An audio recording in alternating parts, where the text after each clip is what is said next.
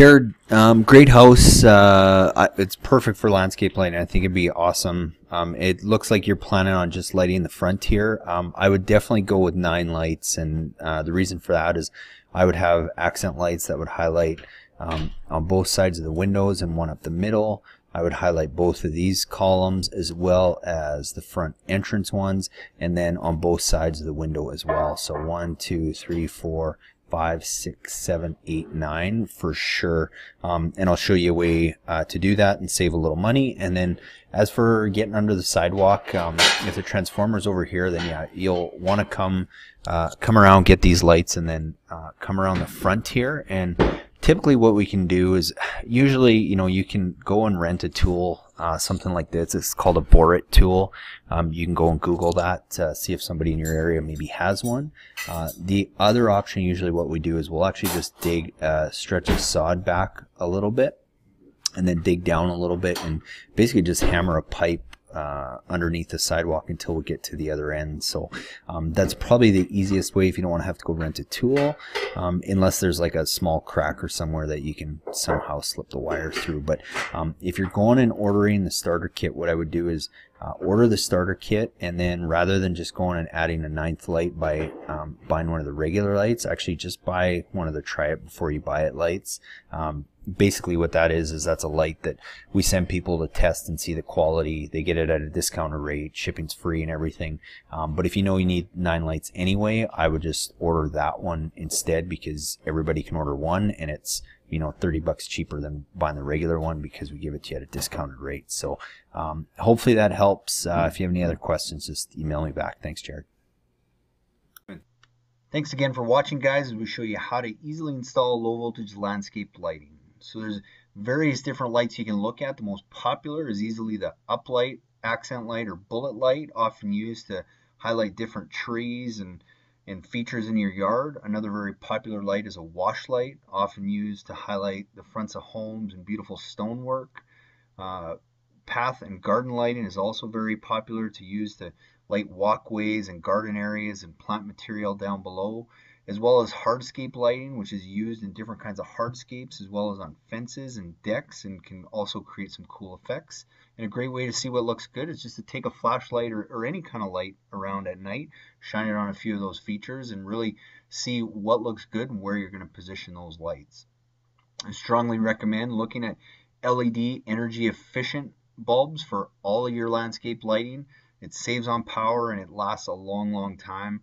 You see they only use 40 watts, 260 lumens is very bright, and they still have that warm white or warm white look that you would find in an incandescent fixture. And if you have an existing landscape lighting system that is incandescent, it's very easy to retrofit with LED bulbs, again, just to save power and not have to be changing bulbs all the time.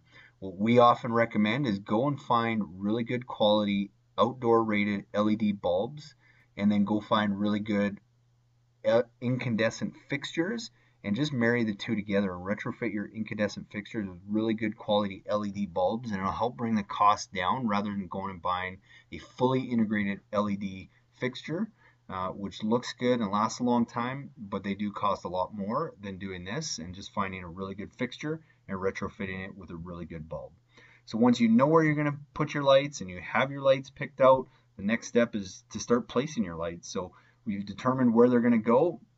Start by digging just a small hole and just preliminarily placing your lights. I recommend using a rubber mallet so that you can really pound those ground stakes in and give them some good stability. Screw your light in afterwards so you can really get it in there. Make sure everything's level. And then from there, you start laying out your wire once you got all your lights in place and be sure to leave extra wire at every fixture just to give yourself some wiggle room. Connecting the lights is quite simple. When you make your splice in your wire, you'll have a wire going in and a wire going out for each connection as well as your fixture wire and at every light you're going to have two of those connections. I recommend a good waterproof connection, either a, a gel-filled snap lock connector or these uh, gel-filled DBRY connectors that come in two parts that you have a Marrette that screws on and keeps the wires tight and then it fills the wire fills into a gel filled tube that keeps the water out so just be sure to make sure you're getting good waterproof connections that keep the wires free of the elements as well as keep them from pulling apart. The next step is selecting your transformer. Uh, very easy to do if you look on any bulb that you purchase, it should give you the wattage, but if you have a four and a half watt bulb and you have 10 of those, that's going to give you 45 watts, which means you want to select a transformer that's just slightly bigger than that. And I recommend trying to find a transformer that has a photocell as well as a timer built into it for easy use. Uh, very easy to wire in your transformer. Depending on the transformer you have, it's generally going to have a common tap and a 12 volt tap. You just put one wire into each tap, screw them down tight, mount your transformer close to your GFCI receptacle so that you can get power, plug it in, turn it on, and go and make sure all your lights work before you start burying any wire. So once you've checked all your lights and everything works, you can start burying them. One thing I would recommend is looking at the WiOn outdoor Wi-Fi switch is a great tool if you want to make your landscape lighting system totally smart and Wi-Fi operated. Uh, to bury the wires, very easy with a flat-ended shovel, creating a trench that's six to eight inches deep, spreading the turf open and pushing that wire down and stomping it down within no time at all. It looks like you haven't even been there. And in the mulch, it's just a matter of pulling it back and creating a, a path to lay down that wire, stapling it down and burying everything over that. So hopefully that helped. And if you have any questions, by all means, you can always reach out to us and follow us on Facebook.